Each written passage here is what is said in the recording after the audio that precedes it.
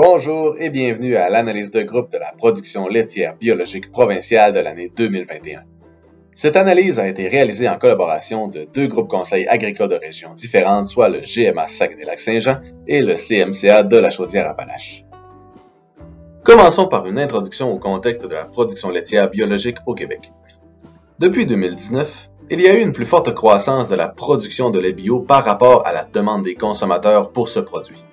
Cela faisant en sorte que pour 141 producteurs certifiés biologiques, seulement 125 d'entre eux pouvaient recevoir l'entièreté de la prime, soit ceux qui font partie du groupe A. La demande ne suivant pas l'offre, la prime pour le lait bio a diminué depuis 2019. Elle était en moyenne de 21,31 l'hectolitre pour cette année-là et est passée à 20,36 l'hectolitre pour l'année 2021. La hausse du prix du lait à la consommation est un facteur pour freiner la demande pour ce produit. De plus, la concurrence des laits végétaux sur le marché accapare aussi une certaine place en compétition avec notre lait bio. L'analyse de groupe contient deux groupes d'échantillonnage comparatifs, soit le groupe moyen et le groupe de tête. Le groupe moyen rassemble les données de la moyenne du secteur analysé, alors que le groupe de tête exprime les résultats des entreprises les plus performantes. Ce tableau illustre certaines caractéristiques de chacun des deux groupes. On y remarque que les fermes du groupe de tête sont en moyenne plus grosses que celles du groupe moyen. Cette diapositive présente la différence entre le groupe de tête et le groupe moyen pour certains critères économiques importants.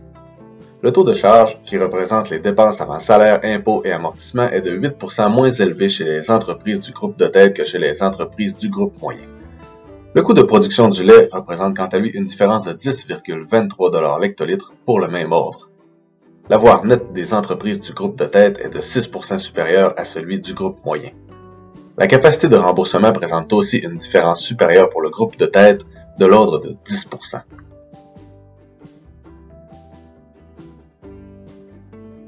La situation économique des entreprises agricoles dépend évidemment de leur productivité. Voici la différence entre les deux groupes pour trois critères de productivité. La production de lait par vache par année est de 900 litres plus élevée chez les entreprises du groupe de tête. Pour la production des fourrages, le groupe de tête produit 1,5 tonnes de matière sèche par hectare de plus que le groupe moyen pour le foin, alors que cette différence s'élève à 2,4 tonnes de matière sèche par hectare pour le maïs en silage.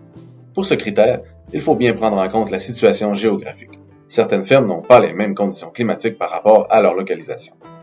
La marge par vache est donc de 690 plus élevée pour le groupe de tête. Pour un troupeau moyen de 68 vaches, cela représente un revenu supplémentaire d'environ 47 000 Pour obtenir plus d'informations sur l'analyse de groupe, vous pouvez consulter un groupe conseil agricole ou encore vous référer sur le site de viapol.com.